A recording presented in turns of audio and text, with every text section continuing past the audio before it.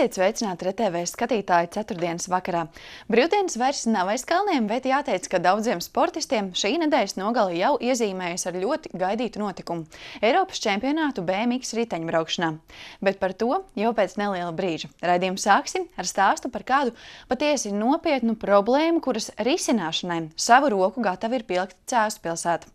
Šobrīd galvenā problēma mūsu planētai ir arvien augošais atkrituma apjoms, un līdz ar to arī klimata izmaiņas. Var jau teikt, ko gan mēs šeit Latvijā varam darīt, lai situāciju mainītu.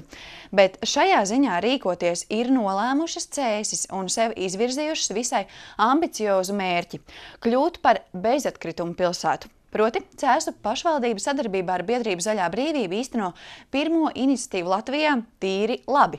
Tas nozīmē apņemšanos samazināt resursu patēriņu, izmantojot tos atkārtoti, kā arī šķirot pārstrādē noderīgos izējuma materiālus vai lietot tos citos veidos.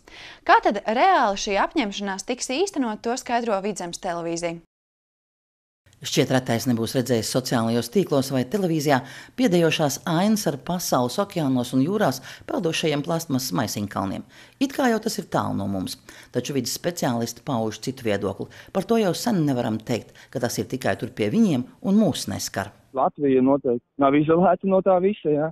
Arī tepat Latvijas uh, ūdeņos ir uh, pilns ar plasmas, arī šī plasmas daļas sadalās mazās nanodaļiņās, mikrodaļiņās, jā, un ir atrasts nu, dzeramajā ūdenī un visās citās vietās. Tur plasmas ir kļuvusi par tādu jaunu elementu, kas ir visapkārt mums. Mums bija martā bija konferences valsts 196 ietvaros, kur jaunā ārstu biedrības vadītāja Ilza Aizsilniece rādīja, kādas ietekmes veidojās no plasmasas, tām vielām, kas sadaloties plasmasai, nonāk zemē un pēc tam caur ūdeni, caur pārtiku, ko mēs uzņemam atpakaļ, un kāda veida bērniņa kādām slimībām dzimst ar vienu aci, ar, ar, ar, ar, ar nu, vienkārši tur dramatiski. Un cēsīs jau ir arī reāli soļi, kā mazināt atkritumus, piemēram, mainot iepirkšanās paradumus. Mēs esam tā praktiskā sadaļa. Tad praktiski ņemam savu taru un nākam pie mums, uzpildām. Tādā veidā mēs ietaupām finanšu līdzekļus, kad mēs varam izmantot savu taru un lieki nepārmaksāt pēc tam par atkritumu šķirošanu, nodošanu. Tā bez iepakojuma veikaliņa ieber.lv iesaistīšanos atkritumu samazināšanas iniciatīvā vērtē Agnese Gaideliona, kur šo veikaliņu cēsīs izveidojusi kopā ar savu dzīves biedru. Un atsaucību šim iepirkšanās veidam jau esot. Pircējs ir ļoti atsaucīgs, pircējs ir zinošs, arī cēsīs. Un priecē mūs nākot gan ar 5 litru veļas mazgājumā līdzekļu kanniņu, gan ar jauku pītu groziņu, kurā jau ir dažādas burciņas, maisiņi, kurus nāk un uzpilda. Ir arī puišu lokā piekrišana, kas ir īpaši iepriecinājums, gan arī jā, vecāka gadījuma paudze, kas nāk un saka, jā, šitas bija manā jaunībā, nācām ar savu taru, bija tamborētie pirkumu maisiņi, jā, tas viss atgriežas. Un galvenais tā pozitīva attieksme no klientiem. Tas ir brīnišķīgi. Apņemšanos ieviest pilsētā bezatkritumu dzīvesveidu pamatprincipus parakstījuši arī citi sadarbības partneri, organizācijas un uzņēmēji, arī kafejnīcu solo, kur atkritumu šķirošana jau nav sveša lieta. Šķirojam mēs atkritumus jau var teikt no kafejnīcas pašiem pirmsākumiem. Tā vienkārši, man liekas, arī vieglāk strādāt. Ir. Mēs strādājam tā kā strādājam, tad zinu, ka veikalam tagad būs eh, jauna tāda, tāda kā atkritumu prese ko viņi ļoti gaida, kur viņi varēs mest visus šos papīrus un, un, un, un visādus iepakojumus citus, un kur jau visu presēs, ka nebūs tās lielie tie bunduļi, kas viņiem tur tagad otrā pusē vēl mētājas. Kafejnīcas plānos ir arī pilnībā atteikties no vienreizēji lietojamiem traukiem. Nākotnē ir arī tās firmas, ar kuriem mēs sadarbojamies ar lielāko firmu. Tā ir Multipoks no Rīgas firma, un tā mums piedāvās kā, vidē draudzīgus materiālus, un tad mēs arī lēnām pāriesim uz tiem vidē draudzīgiem materiāliem materiāliem. Mēs diezgan daudz runājam, strādājam ar uzņēmumiem, lai saprastu, kā viņi var mainīties. Jo nu, parasti jau vai tā ir kafejnīca vai veikals, tie cilvēki ir aizņemti ikdienas darbu veikšanā, un viņiem nav īsti laika domāt par citām lietām, arī par atkritumiem. Tāpēc ir jāsaprot tās, tās barjeras un kaut kādi mehānismi kādā veidā tad mēs viņus varam, palīd, viņiem varam palīdzēt un atbalstīt viņiem. Un tas, man liekas, būs arī tas galvenais rezultāts no šī projekta. Protams, apņemšanās ieviest bezatkritumu dzīvesveidu pamatprincips jau nenozīmē, ka cēsīs tā uzreiz vairs nebūs atkritumu. Galvenokārt jau tas būs izglītošanas darbs, skaidrojot arī ar reāliem piemēriem, ko varam darīt, lai mazinātu atkritumus, un arī kā veiksmīgāk izmantot esošos resursus. Daudzas lietas tā vienkārši neizmetot. Piemēram, datoram kaut kas, viena, viens taustiņš saplīsta, nevis mest viņu ārā, bet tomēr mēģināt viņu saremontēt un turpināt lietot. Tātad pamatā tā ir domāšanas maiņa, kurai jāseko arī rīcībai, kaut vai ar maziem, bet reāliem soļiem. Mēs paši arī pašvaldībām mums jāsāk pašiem ar savu piemēru. Nu, kaut vai attieksimies no vienreizējā lietošanas glāzēm. Jo tas ir viens, nu, teiksim, tu izdzer, 30 sekundes ir tā glāzes vērtība, izmet un viss. Un, un, un, un, un, Un, nu, redzat, šeit ir piemērs uh, ūdens krūze, stīkla glāze, nav atkritumu. Ja mēs atsakāmies no vienreizējām glāzēm, tad viņas mazāk ražos. Ja viņas mazāk ražos, mazāk uh, CO2. Un otra ietekme, viņš mazāk nonāk zemē, kas atgriežas mūsu. Varbūt tas tā izklausās tālu un nesaprotami, bet no mazām lietām sākās lielas lietas. CS ir pirmrindnieks, kas dos to starta signālu, kā tas ir jādara, un pārējās pašvaldības sekos. Līdz ar to sekos arī maisaimniecības. Šī pilota projekta gaitā līdz gada nogalē Cēsīs paredzētas vairākas izzinošas aktivitātes, lai radītu izpratni par bezatkritumu dzīvesveidu pamatprincipu ieviešanu. Un nu pievēršamies sportam. Vakar stāstījām, kā velobraucēji un viņu fani ierodas Valmierā uz Eiropas čempionātu BMX riteņbraukšanā. Un jau šodien sportisti aizvadīja pirmos oficiālos treniņus. Kā viņiem veicās un kādas ir viņu domas par jauno Valmieras trasi, to devās skaidrot Oskars Brasliņš. Riders ready, once again.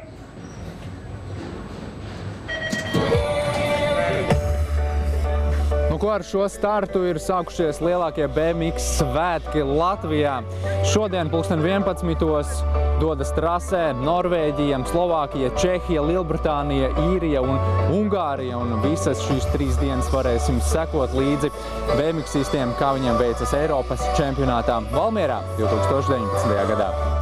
Šodien ārzemju braucēji sāk savus pirmos oficiālos treniņu braucienus Eiropas čempionātā BMX. Kopā pieteikušies 1060 sportisti no 26 valstīm, un sacensības sāksies jau piekdien ar krūzeru grupas startiem. Taču oficiālā sacensība atklāšana būs sestdien pēc priekšbraucieniem. Bet kā ārzemju viesi vērtē jauno divkārtējā olimpiskā čempiona vārdā nosaukto Māra Stromberga trasi, to devāmies jautāt braucējiem, kuri šodien paši pirmie aizvadīja treniņu braucienus.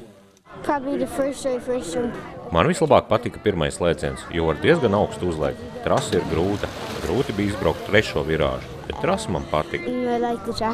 Was, uh, track, so I... Trasa bija diezgan līdzīga kā pie mums Čehijā. Man tā diezgan labi patīk, bet virāžas ir augstas. Citas trases ir sarežģītākas. Uh, uh, Pirmo reizi esam šeit, tāpēc vēl mācāmies, kā labāk izbraukt. Man patīk pirmais lēciens, un vēl meklējam labāko veidu, kā to paņemt. Trasa ir lieliska. Daudz mūsu braucēji teica, ka otrā taisna ir diezgan izaicinoša, bet tik tālu trasa viņiem patīk. Uh, peaky, uh,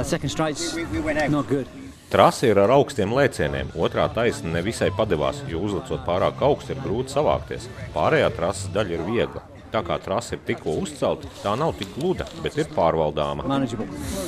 Arī Latvijas BMX izlases treneris Ivo Lakučs ir izteicies, ka trase ir tehniski sarežģīta, bet tas nākšot tikai par labu mūsu pašmai braucējiem.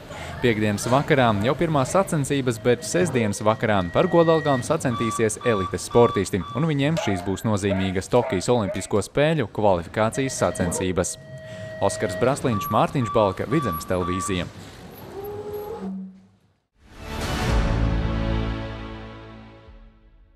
Kamēr riteņbraucēji jūsmo par šo lielo sporta notikumu Valmierā, Talsos jau otro gadu vieglatlētikas stadionā aizvadītas starptautiskas sacensības šķēpmešanā. Vairāk nekā simts sportisti no septiņām valstīm centās uzstādīt savu labāko rezultātu, un ar viņiem tikās kolēģi no Tāls televīzijas. Pērn aizsāktā tradīcija gūst ar vien lielāku popularitāti. Par Talsu novada domas balvām šogad sacentās septiņu valstu sportisti kopumā piecās vecuma grupās. Dienas pirmajā pusē startēja zēni un meitenes U14, 16 un 18 grupās. Savukārt cīņa par galvenajām balvām notika vakar pusē, kad vīriešu un sieviešu elites grupās savu labāko rezultātu uzrādīja talsinieki Rolands Štrobinders un Madara Palameika. Jau pirmajā mēģinājumā savu labāko rezultātu 79,68 metri sasniedza Rolands, savukārt Madarai šķēpu izdevās aizmest 58,18 metrus tālu. Tikai viens izdevies mm, tāds pieticīgs rezultāts, tomēr, eh, bet eh, pārējie bija diezgan eh, sliktā kvalitāte arī. Un, varbūt laikapstākļi un nu, pats noskaņojums varbūt nebija varbūt tāds viens no labākajiem, bet darīju visu, ko varēju. Es ļoti centos. Uh, jo manā garā tiešām ir izpildīt visu maksimāli tajā reizē, ko es esmu spējīgs izdarīt, bet šoreiz tiešām bija grūti. Noteikti Talsu šīs sacensības rekords bija 60 metri jāizme, tur bija 50 me, 59 metru robežas. Man bija interesanti to izdarīt, bet es tā kā bišķi man pietrūka, bet uh, Nu, kā ir, tā ir uzvara arī ir uzvara un jāpriecājas. Kā tu vērtē, kā tev šodien gāja? Es varētu teikt, ka labi īstenībā, jo šis mājas stadions katru dienu notiek treniņu un grūti ir mēs sacensībās, jo tas pieredzes treniņos mēs tur pārkāpjot līniju vispārējo. Tā, tā kā labi, bet, nu, protams, man iemet katru sacensību 80 metru un, un, un, un tur nav ko. Viņi ir auguši talsos abi un, un, un dzīvo talsos. Visi mūsējie, teiksim, lasa portālos un avīzēs un vēl, kad mums ir tāda metēja un ka viņi met, tad šī ir tā iespēja atnākt un klātienā redzēt un ka, teiksim, tas nav tik viegli aizmest tos 60 metrus vai 80, ka tas ir tomēr, nu, pirm, pirmkārt smags darbs un, un jau jābūt visu laiku labā formā un vai tas ir Talsos, vai tas ir Ķīnā, vai tas ir vienalga, kur pasaulē, jā, tev ir jābūt visu laiku, jo cilvēki nāk skatīties. Un šī tā vieta, nu, kur, teiksim, mūsēji var izbaudīt savējo, teiksim, startu. Vīru konkurencē otro vietu ieguva Pāvels Maleška no Baltkrievijas, kurš šķēpu aizmeta vien par 0,3 metriem tuvāk kā Rolands. Savukārt trešā vietā ierindojās Igaunijas šķēpmetējs, kurš sarunā atklāja, ka Talsos ieradies pirmo reizi, taču ar sacensību rezultātu neesot īpaši apmierināts. Viņš šķēpu raidīja 76,79 metrus tālu. I had like many problems this. Šajā sezonā mani piemeklēja vairākas problēmas. Nācās skriet savādākā tehnikā un citi sarežģījumi. Tādēļ šodien bija grūti saņemties un sasniegt labu rezultātu. Vecuma grupā U14 par uzvarētāju kļuva talsinieks Kārlis Lukas Skoloda, kurš čēpu aizmeta 45,56 metrus kā arī īpaši priecīgs bija Mikls Kerko pēc sava 71,63 metru tālā metiena. Šķēps pirmo reizi lidoja pāri 70 metru robežai.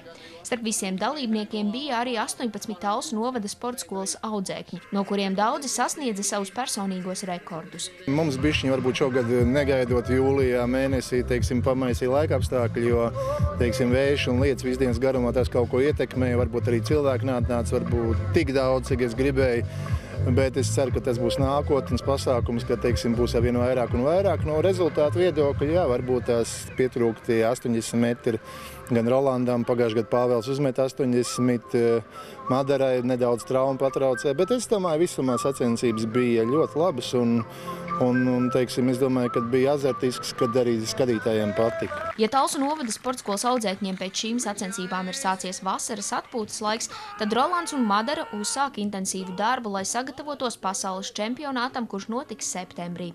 Kristīne Freimane, Terēza Matisone, Niklaus Dzelme, Talsu televīzija.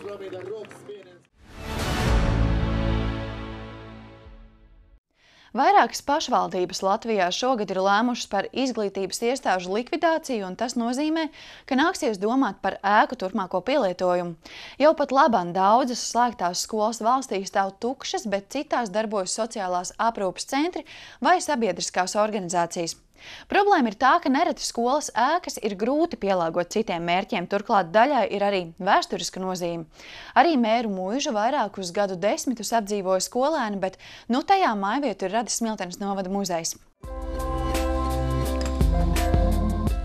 Mēra mūža Smiltenes novadā celta 1905. gadā. Ilgu laiku, 83 gadus, šeit atradās skola, par ko joprojām liecina ēkas gaiteņi un telpas, kurās bija iekārtotas mācību klases. Zvans uz stundām šeit neskaņ jau kopš 2009. gada, kad Biržuļu pamatskola beidza pastāvēt, bet ilgi gan mūža tukša nepalika. Te mājvietu radis Smiltenes novada muzejs. Daudz brīnās par skolotāja izskatu Nu, tas, tas ir viens fantastisks, tā, tā, tāda prātā paliekoša Šajā telpā, kas nav mainījusies kopš pēdējās skolas dienas, iekārtota Bierzuļu pamatskolas muzeja ekspozīcija. Te atmiņās par skolas laikiem labprāt kavējas izglītības iestādes absolventi, kuri arī iesaistījušies ekspozīcijas veidošanā. Jau trīs gadus mūžā norisinās rekonstrukcijas darbi, kuru mērķis – saglabāt vēsturisko autentiskumu. Pilī bijuši grēzni interjeri, līdz pat šodienai saglabājušies koka apšvumu paneļi, griestu apdare un koka durvis, kas esot pat senāks nekā pati ēka. Atrodamies šobrīd Mēra muižas tornītī. Kā mēs redzam, augšā ir lūka, kur tāda tornīca turpinājies, bet trepes skolas laikā ir noņemtas, jo skolānam ir bijis ļoti interesanti, kas augšā notiekās. Tātad, ko tur var sameklēt no tādām liecībām vai vai kādu spoku pameklēt, vai tam līdzīgi. Bet nostāsta vēsta, ka barons ir kāpis augšā turnītī skatīties, kā viņa padoties strādā un vai, un vai labi ir strādājuši. Skolas laikā šeit ir atradušās zīmēšanas nodarbības vadītas, tātad, bet principā šobrīd, jā, šobrīd tātad ir tikai nostāsti un muzejs šo telpu arī noteikti izmantos kādam mērķim. Mūžai tika veikta arhitektoniskā izpēte, un mēs veicam remontdarbus atbilstoši pietuvināt, pēc iespējas pietuvinam arhitektoniskās izpētes materiāliem, tātad ēkas sākotnējam izskatam. Tā kā skola šeit ir pastāvējusi lielāko daļu laika, kā teikt, ja mužas, pa, pa, kopš mūžas uzbūvēšanas, tad tomēr skola ir devusi to savu zīmogu ēkai. Tātad, un ļoti daudz pārveidojumu ir bijuši, bet mēs cenšamies atgriezties pie tā sākotnējā izskata pēc iespējas. Mūža nav šobrīd kultūra vēsturisks piemineklis, bet cerams arī to mums izdosies panākt. Bet šobrīd tad veicam remontdarbus atbilstoši arhitektūniskai izpētēji. Pastāvīgi tie ir arī ekspozīcija, kas veltīta novada medicīnas vēsturei. Tā ļauj papildināt zināšanas medicīnas vēstures jautājumos, izpētīt cilvēku anatomiju, pārbaudīt redzi un ieklausīties ķermeņa skaņās. Izstādē skatāms arī doktora Ilzas un Jāņa Krūmalu savāktās vēsturiskās liecības, kas saistīts ar medicīnu dažādos laika posmos. Šis ir zobārsta krēsts, krēsls, 20. gadsimta sākums. Cilvēkiem ienākot šajā ekspozīcijā, manuprāt, pirmais, kas iekrīt acīs, un tas iedvež bailes daudziem.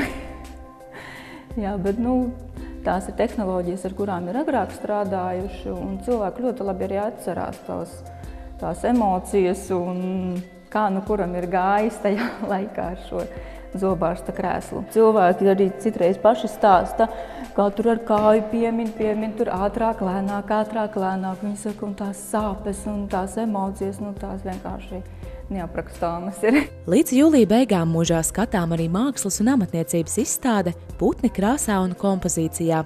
Pašmai mākslinieki radījuši džemperus, villainus cimdus un citus darbus, kuros iedzīvināti Latvijas dabā sastopamie putni, to krāsas un daudzveidība. Muzeja septiņu gadu pastāvēšanas laikā ir izdevies panākt muzeja akreditāciju, kas ir ļoti liels solis muzeja veidošanai kā tādai, jo akreditācija tad nozīmē to, ka muzejs ir valstiski atzīts un uh, atbilst muzeja standartiem. Šobrīd tātad ir apskatāmas divas ekspozīcijas, bet turpmāk darbs tiks vairāk virzīts uz Smiltenes novada vēstures izpēti un arī mūžas izpēti. Tātad pētīsim, vāksim, turpināsim vākt krājumu, apkoposim un veidosim jaunas ekspozīcijas, kas ir būtiski tātad turpmākā attīstības sastāvdaļa. Noteikti mūžā tiks turpināti remonta darbi, kas jau šobrīd ir uzsākti un ilgst jau trešo gadu. Remontējuma telpas, tiks atjaunot arī ārā terase. Mūža ieskauja ap to izveidots parks, kurā zaļo arī viens no lielākajiem ozoliem Latvijā – Mēru dižozols. Tā vainaga diametrs ir lielākais Baltijā. Domājam pievērsties arī parka izpētei, jo parks arī ir ļoti saudabīgs ar dažādiem augiem, interesantiem un uh, Uh, kokiem. Un tā tad um, jā, turpināsim strādāt un virzīsimies uz augšu. Santa Baumana, Mārtiņš Balka, Vidzemes televīzija.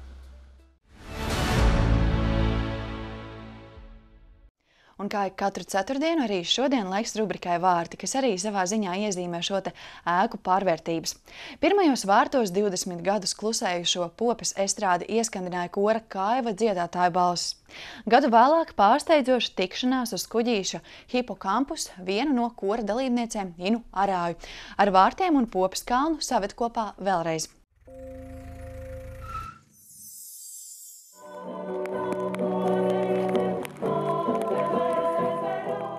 Popes un popes kalna draugu stāsti, tāpat kā zvaigznes debesīs, nav saskaitāmi. Katrs no tiem ir īpašs. Tāds ir arī kora kaiva dziedātājai un metāla māksliniecei Inai Arājai. Vārtu rīkotāji teica, ka jūs teicāt toreiz, ka jums uh, liekas, kā tur neatceras teksts, bija gods, kad ja kaiva ar saviem pulsiem atklāt šo estrādi, ka mēs viņu esam iedziedājuši, un, un, un tas mums bija kaut kas tāds, kad lietas lija, bet mūsos bija tādas emocijas, ka mēs nu, vārdiem neizsakām. Jā.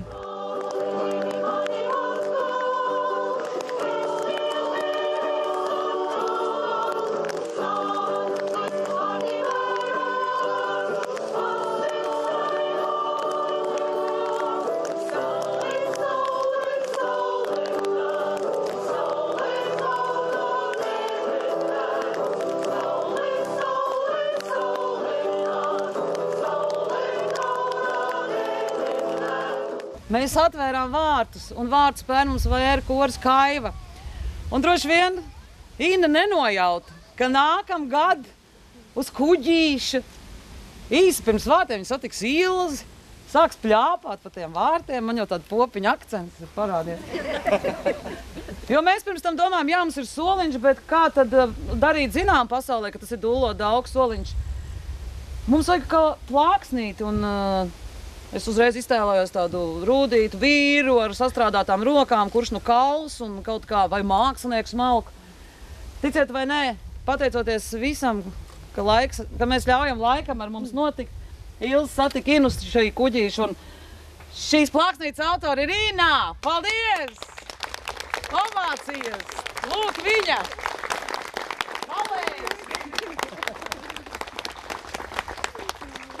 Mēs runājām par to, ka mēs uzrakstīsim virsū dulo daugu soliņš, un tā ģitāriņa man jau bija uzmetināta. Vienkārši nezinu, kāpēc tāpat vien.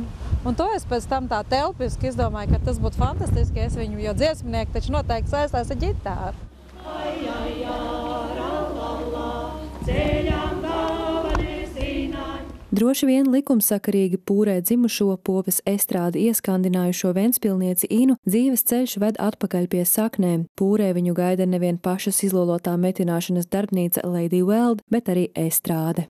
Laikam jāpaicina kaivu, iedziedāt pūras estrādi, lai, lai kosmos sadzirdētu to, ka tā, vieta, ka tā ir stipri līdzīga kā popas estrāde un tā vieta ir, cik vien ātri var, ir jāatdzīvina un lai viņai arī sirds pukst.